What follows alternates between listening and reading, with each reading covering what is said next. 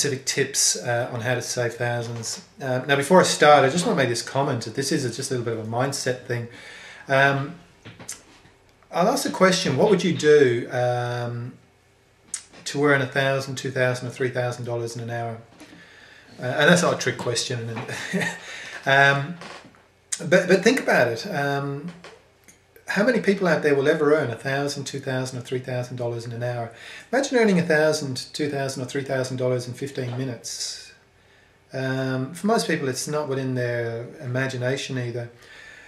What's really crazy is that it is a heck of a lot easier to save money than it is to earn money. And when I say save money, I mean negotiate. Um, most things are negotiable, and uh, particularly car sales. And most people have no idea how to do it, and they will leave so many thousands of dollars on the table. And if you earn thirty, forty dollars an hour, and you, you, you purchase something two or three thousand dollars more than you needed to, um, work out how many weeks of your life you'd have to work to actually earn that. And this is net. When you earn money, you've got to pay tax on it as well. So anyway, enough of that. Um, the five tips basically are this, uh, and I'll summarize them first. You need the right mindset, you need to do some research, you need urgency, cautious interest, um, and you need to negotiate. The mindset, um, th- this is like going out on stage. If you're going out to, to make a major purchase, five, ten, fifteen, thirty thousand dollars, you know what you want to buy, um, but you have to have the mindset. There is a game going to be involved.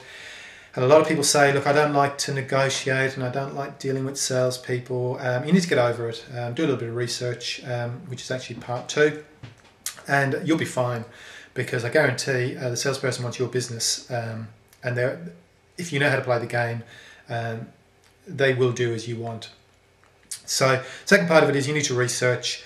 Uh, you need to know it only takes 10 or 15 minutes on Google to find out, um, research the make and model of what you're looking at, look at a couple of comparable models, uh, sorry, comparable vehicles um, that are different models, um, and, and, just see what impact uh, kilometres makes, high mileage, and so forth. And um, just know your stuff before you walk into that courtyard.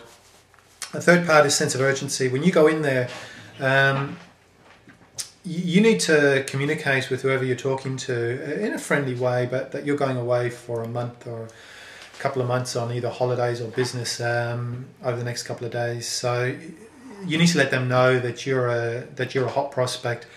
Um, but once you walk off that courtyard, they're probably never going to see you um, again. So um, be cautiously interested.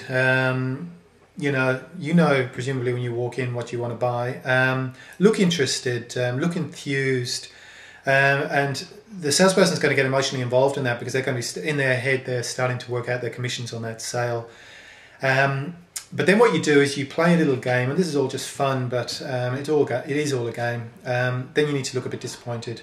Turn your interest uh, and enthusiasm into disappointment there'll be a couple of scratches. There'll maybe be a dent. Maybe the kilometers or mileage is a little higher than um, than you were hoping for. And what happens now is that the salesperson starts to starts to play your game, um, and they start they're going to start to want to help you um, um, get out of that disappointed stage. And uh, the best way to do that is obviously to get a better price. Um, then you need to ask a simple question, um, and you need to ask this on every purchase that you make um, that's over a couple of hundred dollars. What's the absolute best price that you would do on this car? And then wait, wait for the answer. Don't interrupt. If they ask you a deflecting question like, "Oh well, would you be interested in buying today?" or anything like that, just just smile and just say, "Look, I'll ask again. You know, what is the absolute best price you you would be willing um, to do on that?" And um, don't proceed um, or don't don't get involved in any more dialogue until that question is answered. Um, whatever price they give you, um, you need to now you need to think about this, and I want you to to say this in your head over and over and over again before you walk into that showroom. You'll have to do better than that. That is a magic line. Um, whatever price they give you, uh, whatever psychology and whatever uh, whatever way they wrap it up and and um, justify it.